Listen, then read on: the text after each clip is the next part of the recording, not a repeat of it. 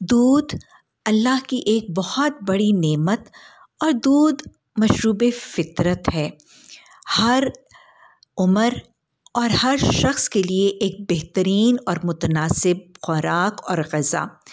कोई मर्द है औरत है, बच्चा है, बूढ़ा है, जवान है, हामला है, रज़ात कराने वाली है, बीमार है, सेहतमंद है।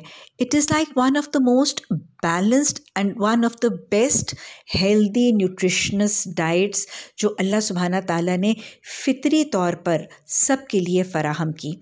अल्लाह ने कुरान में एक से ज़ायद मकाम पर दूध का तस्करा फरमाया है और अल्लाह के रसूल सल्लल्लाहु वसल्लम को शब मराज के मौके पर जब आप बुराक पर सफ़र कर रहे थे तो आसमान में पहले एक प्याला पेश किया गया।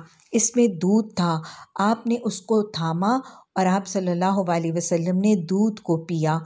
तो गोया दूध का पीना नबी सल्लल्लाहु अलैहि वसल्लम की सुन्नत से भी साबित है और आपने दूध पीने की दुआ भी सिखाई है।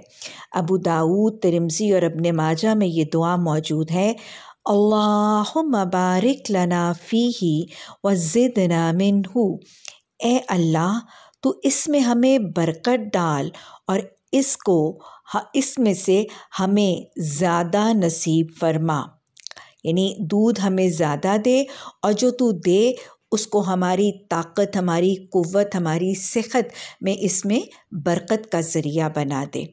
अल्लाह सुबहाना ताला हमें नबी सल्लल्लाहु अलैहि वसल्लम की सुन्नतों को अपनाने और लोगों से मुतारफ़ करवाने की तौफ़ी कता फरमा। माँ दूध पिए तो ऊँची आवाज़ में ये दुआ पढ़े। बच्चे दूध पिए तो भी माँ ऊँची आवाज़ से दूध, ये दुआ पढ़े। और बच्चे को माँ दूध रज़ात करने वाली माँ भी दूध पिलाने लगे तो भी ये दुआ पढ़े। इसमें बरकत भी होगी और अल्लाह इस बरकत में इजाफ़ा भी फरमाएगा।